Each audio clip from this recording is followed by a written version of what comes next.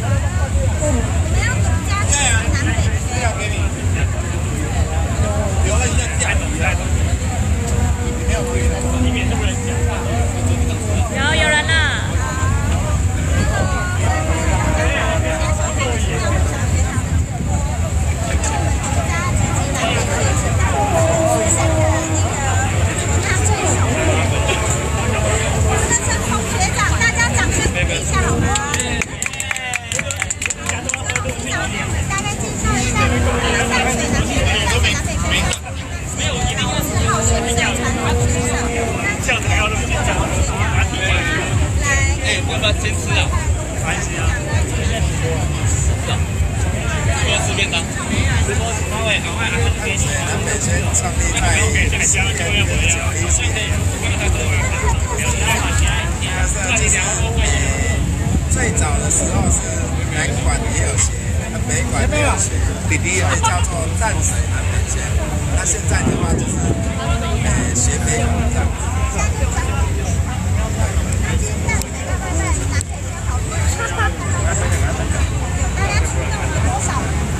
升到了两百度左右。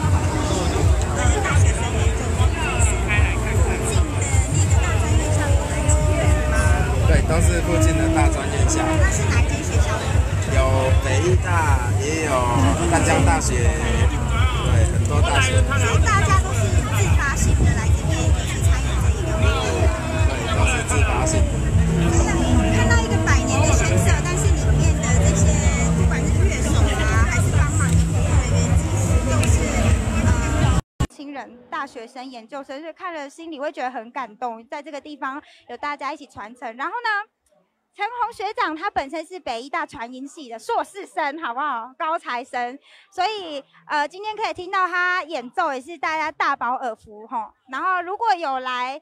淡水大拜拜的呢，请来南北学。我们走第几队呢？小编，第二队，第二队，大家可以来第二队找那个陈红学长，还有小编玩。三号哦。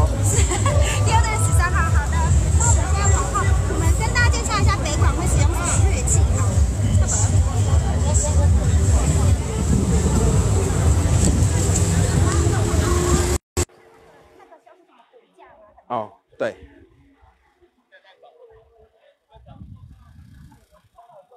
好，我们现在看到的这个是什么呢？学长可以跟我们介绍介绍吗？这个都是木雕的，这个叫做花篮骨架，回拿锅给。哇，所以这个也很有历史了吧？这这这做大概多久的时间？哦，这个也大概接近要百年的历史了。对，那我在上面看到了有三个鼓，分别是什么？像这个呢，我们先看这个好了。这个叫做标狗，标够对，标狗，它是指挥，指挥对，就是我们整个北北管这个乐队的指挥，就是这一颗标狗。所以说打标够的人，他等于是这个队伍的指挥，就对，像交响乐的那个指挥的意思。对，没错，所以打这个的辈分要最高是吗？。对，非常重要。那标够旁边这个是什么？这个叫做口啊板，口嘎板，哎，口啊，口啊口哎啊。，它这个目的就是在打节拍的。哦，对好，所以基本上站在这个位置的人，他就是指挥整个整个演奏的曲目对走向就的速度，对，速度快慢。对好那对面呢？对面是副指挥吗？我可以这样理解吗？我们这个这个指挥，我们可以叫做讨球。好就那我们在这颗叫做通鼓，也可以叫做理球。理球李秀。哎对哦就是这个，它是负责加花的。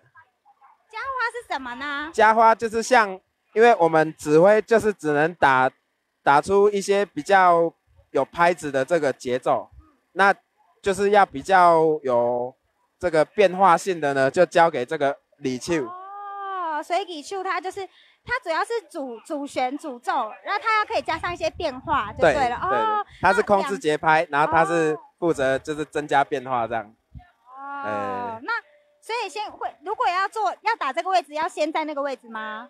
诶，还是说不一定？不一定啊，不一定不一定对那个看个人的学习程度，对，那那为什么李秋要有两个鼓呢？诶两个鼓是有不不一样的用意吗？还是说其实都是差不多加给它加花用的？它其实最早的话就是只有标构跟铜构这两颗鼓，然后后面因为为了要增加那个气势，所以才会加入这颗 B 构，B 够哎，扁鼓，好，对，好，小编复习一下哈。哎，这是 B 够、好，铜够、对。B 够。对，啊，这个嘞，我忘记这个嘞。口啊，口啊，口啊，哎。好。基本上这是打击乐的部分，对就是打击乐，呃，鼓的部分是这样子。对那还有用到其他打击乐的部分吗？因为我现在乐手现在目前都在那个休息吃饭中，那对还会用到什么呃打击类的呢？可以跟打我们介击的话绍，吗？我们刚刚有看到大锣嘛，对大锣，哎，对，还有大对锣，然后后面还有那个操槽槽啊，哎，槽啊，我们可以呃有槽啊，可以让我们看有看吗？在前面，好。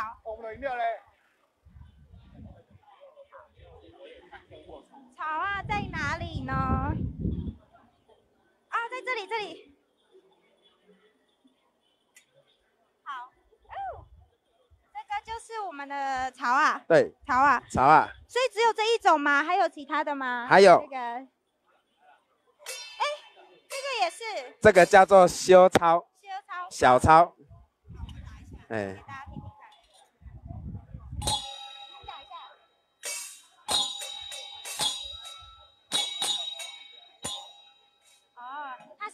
不一样的，所以前面的这个金金属类的打击乐器是这两个，修操跟短操，修操、短操。那还有呢？还有响展、响展，香转，我要找一下，因为现在乐手都休息，所以我们找一下。哦，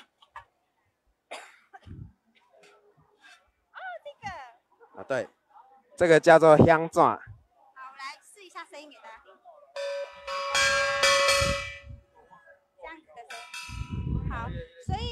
呃有修修操、哎，修操、短操、打操，然后香转、香转、哎香香转、香转、香转的中文哎是什么？响展、响展哦，哎香转，然后对短了，大锣。那还有什么？就是属于金属类的打击打击乐器。打击乐我们就是在北管吹唢呐曲牌的，就是基本上就是用到这几种。哦，然后配合后面的我们的对标购、同购、B 购嘿，这样子。那后面唢呐大概会有规定说唢唢呐要有几支吗？唢呐没有一定，对没有一定，那通常一支也可以，一支也可以。对，然后好几支也可以。我们今天出几支？我们今天出几支，其实我也没有算。等一下，大家看队伍编制就会知道，南北轩今天两百人真的是没有在没有在开玩笑的。那我们介绍一下今天的将军好了，因为我看到今天的将军有三四队嘛，我们先过去看一下。今天，南北轩除了他们呃有出将军之外呢，呃还有呃不是出北款之外，还有出将军，讲对讲反了，啊不好意思，因为现场有一点比较拥挤一点，摄影师小心哦。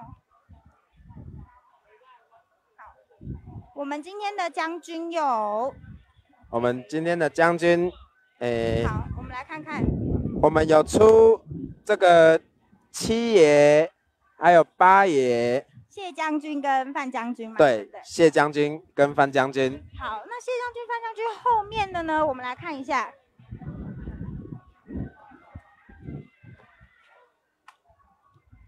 这个是这个是文文判官，还有武判官。哦，对文的就是比较斯文，啊武的就是比较威武。我觉得文判官长得有一点像我们总干事啊，有像有像有，像我们总干事。啊我们今天除了北管将军之外，我们还有出狗，我们哎来看一下狗来对。好，谁下狼对谁什么姓名？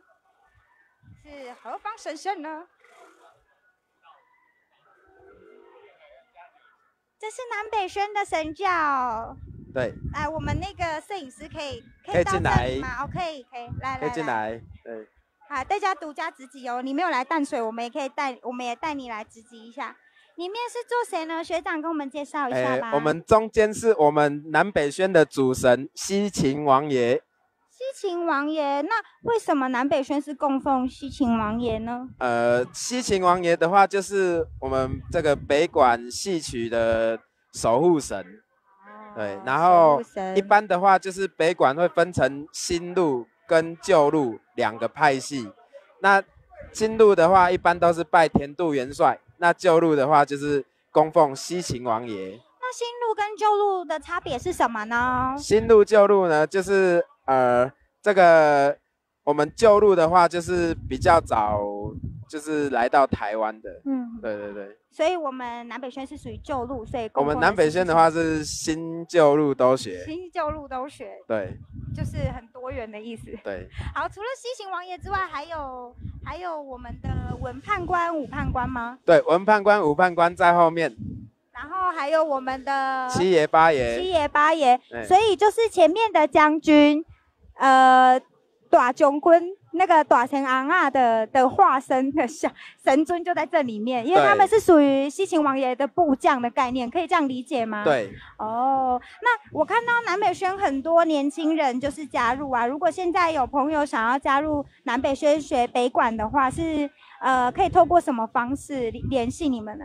呃，我们学北管的话，我们现在那个脸书、Facebook 有我们的粉丝专业，那搜寻淡水南北轩就可以找到请了。按赞加追踪好不好？淡水南北轩，然后呢，那个呃学不知道学北管有什么禁忌，还是需要遵守的？哦学北管我们现在就是完全都没有禁忌。那以前呢？以前学北管有什么以？前学北管会比较多，就是男生来学啦，嗯啊，女生的话就是比较不行这样。对，但比较不行但是现在这个就是已经没有这个规定了啦。对。哦，好，那等一下，呃，我们现在是休息时间，那跟大家实况转播。等一下，呃，大概休息过后，大概什么时候呢？小编，现在几点？四点半，大概五点吗？五点，大概五点到五点半左右呢。南北轩会在淡水捷运站前面这一边做一个呃表演，对吧，学长？对，好，那那等一下做表演的时候，欢迎大家大概五点到五点半，你现在出发往淡水时间都还来得及。呢希望你下捷运的时候就可以看到南北轩精彩的演出。然后今天跟明天是淡水大拜拜，今天是暗访，明天是绕境。对吧？对，明天是正日，是，然后今天是暗红，所以今天主要其实应该是四点出发，对不对？我们的队伍其实四点出发，然后会到比较晚的时间。那刚才有跟大家直播，就是我们的老三奏他去安安四方的这个仪式画面。那等一下呢，我们就会跟着南北轩他到各个定点去表演的时候呢，我们会帮大家做直播，让大家你如果没有办法来的话，也可以一睹南北轩的风采。然后呢，很多人对我们的衣服很有兴趣，来来来，这衣服，小编你可以近一点。这衣服是什么意思呢，学长？那我们先看到这个字哈，这个字就是我们的北管的乐谱，就是宫词谱。对，它叫做怎么念呢？就是这样，响彻共欢流。想吹空欢六就哆来咪发嗦的意思吗？没。错，哦，所以是用中文字来表达哆来咪发嗦的意思。，对，这叫公尺。公尺谱。公尺谱。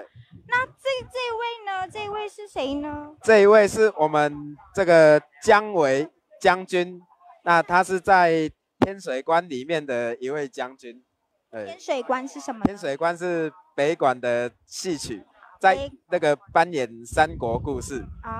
哦，所以是北管戏曲里面的一个角色，然对后把它放出来。子弟戏。哦，对这样子，所以我们今天穿的这个衣服，它其实也融合了北管的精髓跟文化脉络在里面。好，刚才呢，有人看到，其实我刚才那个在拍安四方的时候，就有很多民众一直读我背后的字。来，学长跟大家介绍一下这背后是什么意思。好，来，首先我们看它背后这三个字叫淡水 南北轩哦，然后再来就是淡水迎神至圣，就是介绍这个淡水五月五月初六啊，然后我们的路线图啊会经过哪里，这个是日治时期的报纸的这个内容，对，然后我们把它印在衣服上面。所以其实南北轩他他做的这个衣服啊，不管是前面还是后面，它都是融合北管的精髓跟整个大水大拜拜它的文化脉络在里面。所以呢，各位如果你有来淡水的话，看到穿这件衣服的人呢，就是淡水南北轩的人，你可以好好读一读他的衣服。然后听说这个衣服也是南北轩的总干事自己设计的吧对？A K A 文判官。好，那我们等一下就要表演喽。然后等一下表演的时候，我们会跟大家做直播。那希望今天大呃的直播大家会喜欢。然后先预告一下，我们呢待会会请到简友庆老师跟我们讲一下淡水大拜拜的文化脉络。